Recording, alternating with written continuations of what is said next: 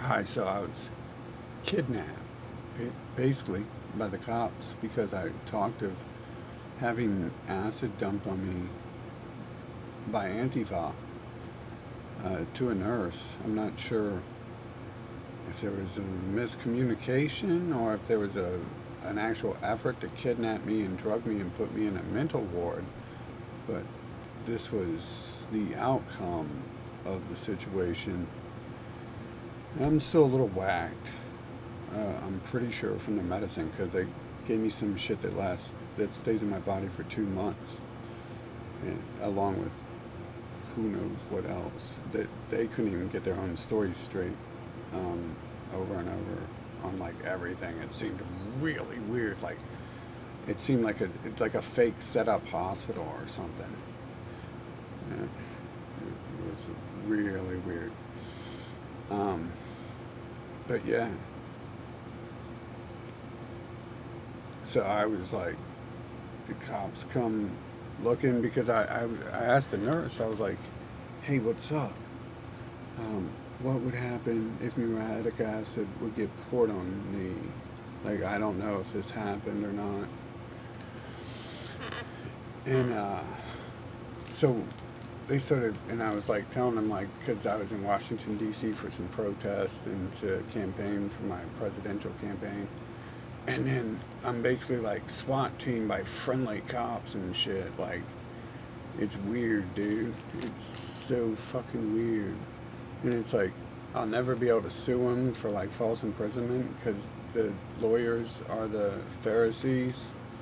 And the lawyers apparently hate me at this time, so. I mean, they never did work against the government. I, the governments came after me before and took money in, the house from my family and stuff, so. Uh, yeah. So. They kidnapped me and like the whole story is just like I can't even remember it. I mean, they gave me some drugs that like felt really good for like two days, and then caused like a massive headache, and it's like something that lasts two fucking months and shit.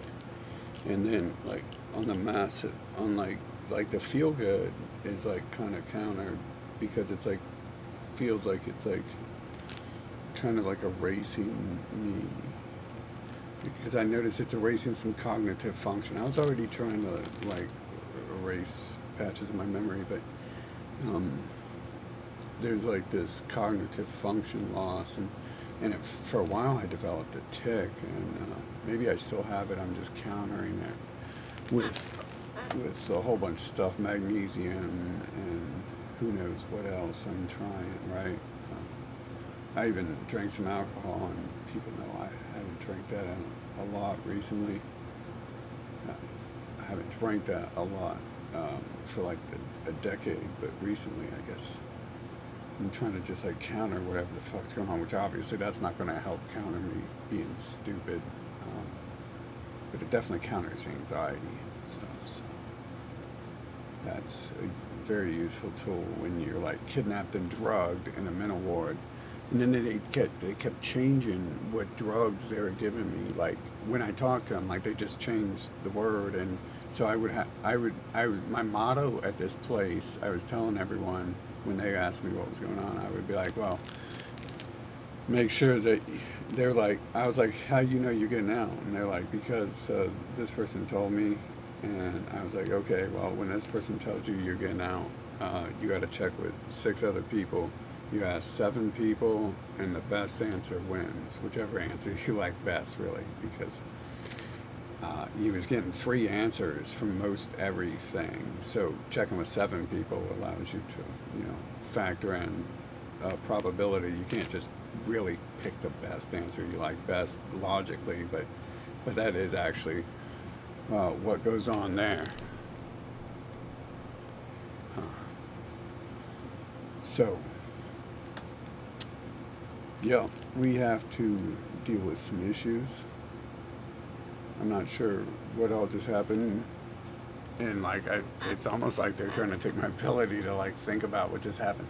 Uh, and it started, I got taken to one hospital and then uh, like the cops were like, "We're going to take you to the hospital and have you checked for acid," and I was like, "Wait a minute, you guys were just showed up with some EMT. If they didn't show up with any EMT, right? They didn't really show up to see if I had acid poured on me, which I did. I've got the bracelet. It's it's like right in my car. I was showing them pictures and videos of of me getting assaulted and stuff in Washington D.C. So apparently, I'm not supposed to talk about this, and they're sending people to kidnap me or something. That's really what it feels like and looks like. These people are known to do this, and you you don't know me. They know me. They know me. You guys just seen some of this. They've seen it for a while. I'm. They haven't. Please, I'm pretty sure they came into my life ten years ago and it's like I didn't know anything then. I was I was totally ignorant to it. I just and and that makes me think all of you do too. Like the second you go to Alex Jones' website, I think they send someone to talk to you at a bar or something like that. To, you know, an agent agent in place. There's, they literally have like thousands of people who do this stuff, so they have to find who's going to be a problem and who's not. And it's like, I'm always a problem. Hell, I'm a problem to myself. So, apparently, uh, I, you know, this is like legit me worried about like, why was I just kidnapped? Like, I'm supposed to be moving too. Like, these people are like kicking me out because because I'm running this campaign. All of a sudden, it feels like like just like everything back to back, and like everyone's acting like demons around me, and they're uh, uh many of them are betraying me and stuff and, it, and it's like that's fine. It's like, but have them all at once, like that's that's fine.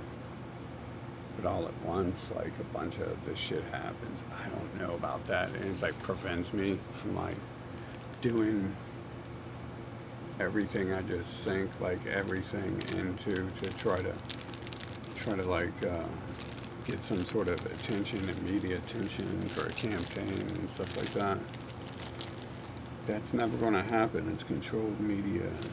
Like, whoever these people are, though, right? Are they people? I don't know. Some people suggest they aren't, right?